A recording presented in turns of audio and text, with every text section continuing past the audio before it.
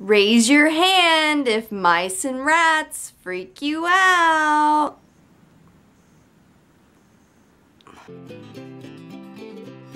Hi, I'm Amber. We planned a pedicure day last fall so we could pamper ourselves a little bit before harvest. We got a little delayed when we were trying to leave though. Come on, boy, bring him here. Oh, did he bite you? Lucky for us, Nish was there. Let me see your mouse, Shorty. Let's is get the, it. This is the animal whisperer. Let's get your mouse. animal whisperer. Let's see what you got. Is that bigger than a mouse? That's a rat. Ah! Obviously, mom couldn't do it. Ah!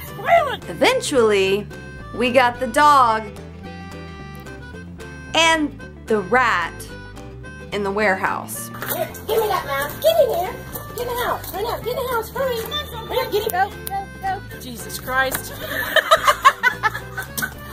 Then it was pedicure time. We're going to get her toes done. Get her toes done. The end. Ugh, that was stressful, but with a relaxing end.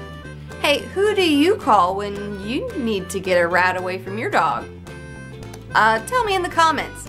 And be sure to tag that person, just, you know, as an extra thank you for helping you out. And be sure to like and subscribe for more Channel Foor next week.